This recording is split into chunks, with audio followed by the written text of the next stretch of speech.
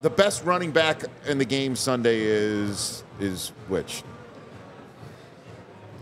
I, I think it's Raheem Mostert. I think just what he's been doing this playoffs. What a story, right? What a story, right? Perseverance, always believing in yourself that you had the talent to get it done. I mean, what, seven different teams? You know, but at the same time, when you think about it, he was the third string running back at the beginning of the year. Right.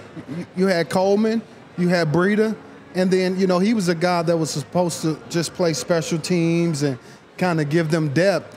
Um, but there was he flashed last year, if you remember. There were a couple games that Raheem Mostert like had incredible games, and he displayed that speed Yes. and the power and all the things that we're seeing now.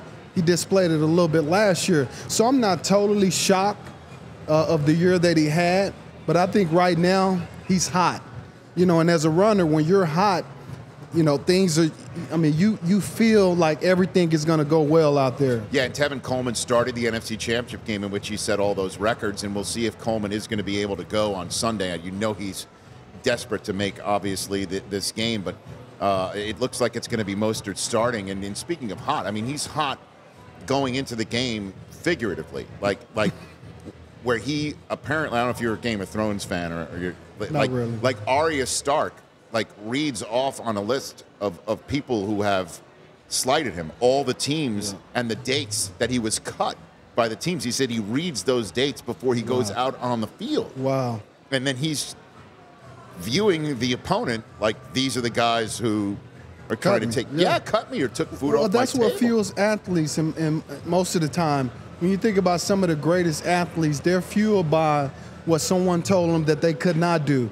I mean, look at possibly the greatest quarterback of all time, Tom Brady. Yeah, he was right. always fueled Yeah. by that chip on his shoulder of being drafted late and nobody believing in him. The. Brady six, even though he's got six in the case, the Brady six still pisses him off to this point. Yeah. Where he wants seven. Did you ever have anything like that?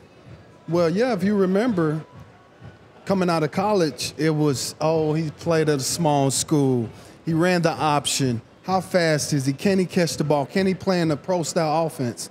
All those things, I took cutouts from those magazines and those those draft reports, and I put them on my wall, you know, uh, my senior year, so I can look at them, and that's what fueled me um, that entire season. And even if you go back to look at some of those old videos of me in college, look at the the, the wrist tape, what I had written on my wrist. What was it? It was uh, feed the family and underrated. Feed the family and then underrated. So that was the pressure that I was playing with uh, when I was in college. Well, the feed the family is the pressure. The underrated is the fuel, right? Abs- I mean, that's that's a that's, great way to look at it. That's the fuel. That's- the yeah. underrated.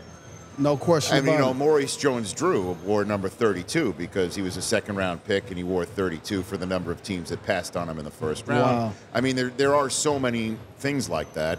You know, I'm I'm and I'm I'm just wondering how much fuel there is to the fire for Mostert and Everett. So many of these guys that are playing in this Super Bowl have have never been there before, and this is Yeah. a big moment for them. And I wonder how much that's going to actually matter in the game if everybody's in that same boat. You know, I, I think it only matters in your preparation.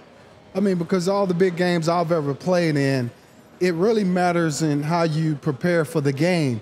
But Rich, I'm telling you, once that ball get kicked off, you're so focused on the task at hand and getting the job done and and and, and really just doing everything possible to make sure your team wins Right. that you don't have time to think about the pressure, you know, of man, this is the Super Bowl or this is a championship game, you know, and so I, I don't think it matters when the ball kicks off. I think right now it definitely matters because you can't tell me that a guy that has been here before, like a Richard Sherman, is not prepared. He knows what to do during this week. He knows to get everything he has to get taken care of with family and friends Right. early, right? And then he knows when to lock in and get ready for the game.